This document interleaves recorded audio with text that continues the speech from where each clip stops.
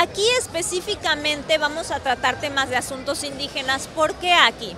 Tenemos pueblos indígenas a lo largo de todo el territorio y es complejo, así que decidimos eh, coordinarnos con, con eh, las otras eh, niveles de gobierno, a nivel municipal, para solicitarles también su apoyo y poder traer a nuestros representantes de pueblos indígenas. Sin embargo, también aquí mismo se va a abrir mesas para otros temas que haya traído la ciudadanía para discutir.